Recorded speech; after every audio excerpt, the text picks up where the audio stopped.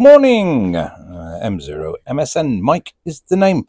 And uh, today um, I have received in the post um, this little package here, uh, which I'm just about to open. I mean, I have opened the box and had a had a look, uh, obviously, to make sure that it was indeed what I thought it was but I've not removed it from the packaging at all.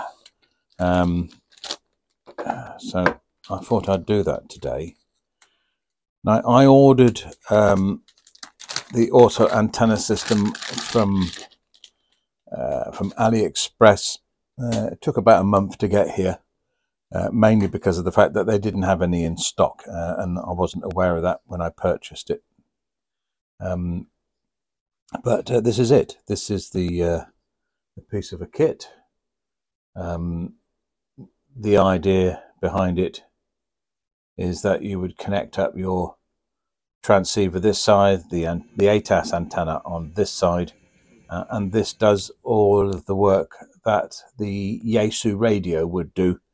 Um, it would auto tune the the antenna, uh, i.e., move it up and down uh, until it finds a tune on the band that you're transmitting on. Well, at least that's the hope. I have no idea if it works or not. Uh, but to go through the features, you have uh, an ancillary connector on this end. Uh, I haven't got any instructions with it as of yet. I've asked for them to be sent to me, so hopefully I'll have them tomorrow. Um, but just reading the, the bits and pieces on the front, there's a Bluetooth um, antenna dongle thing here. I'm not quite sure um, about that, uh, how it's connected. It looks like it's just a dongle out the side. Um, that's for uh, an app that you can run on your phone. Uh, you have the up and down buttons on this side, which I'm guessing will be replicated through this so that you have a remote um, system. Uh, and obviously the antenna out and the antenna in, well, obviously, but that's what they are. Um, and I'm also guessing that the power would come through the ancillary cable. Um, otherwise, I can't see how else it would be powered. Anyway, there we are. So that's what we got in the post today. Um, let's have a look and see what else come with it. I must say it's quite well packed. And it looks like you get a little um, patch cable with it as well. Ah, here we go. There's a lot more involved than I thought there would be.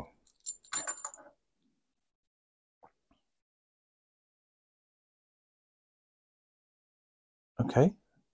Um, AX17 fly cable.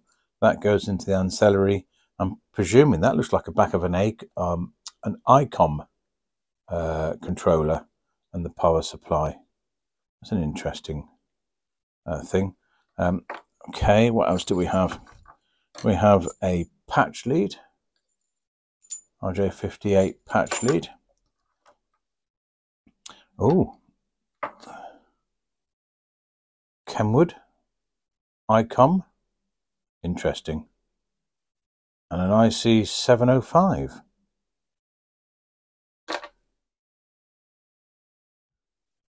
Then, uh, what have we got? We have an ancillary to ancillary. I don't know what radio that would be for, but we have one of those. And we have then what looks like just a, a power lead um, converter or connector. Yeah, okay, and I'm presuming it would go onto that. Yeah, it does. So just quickly remove the top cover. Um, hopefully this will reveal what is in the wee beastie. Um, oh, that's not a very good image, is it? Let me uh, let me see if I can get it into some better light.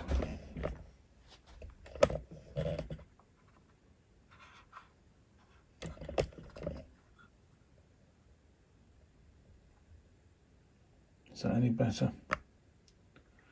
Okay, so this is the AX17 Pro, which is the latest incarnation of this uh, antenna um, tuner stroke, uh, I don't know if you call it a tuner, controller for the ATAS.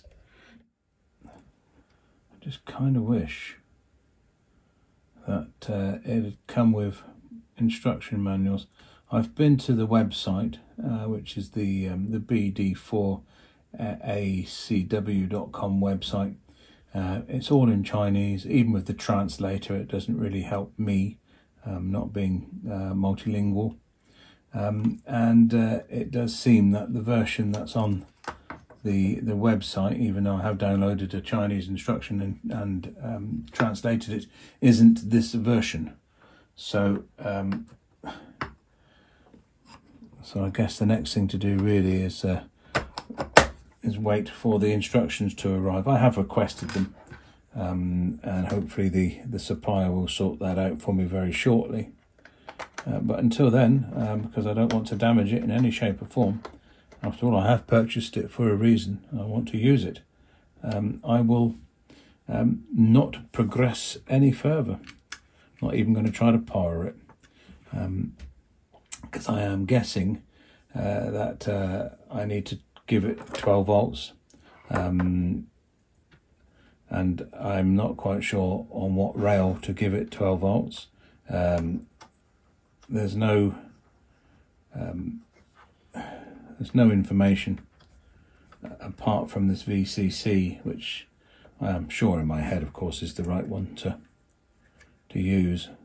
Um, but there's also a warning on the uh, website um, about uh, connecting up um, this little thing uh, as it might short short circuit the system. You think to yourself, well, okay, this is um, a tad confusing. So I'll leave it until I get the proper instructions and then uh, perhaps we'll proceed. Hopefully they'll be here tomorrow. It's all email. Um, it's only really dealing with with uh, time zones. Um, I'm guessing that, that China is probably um, sleeping at the time that I'm here and it'll be vice versa. So there's going to be a little bit of overlap. Um, so I'll just wait for some information from, from China to let me know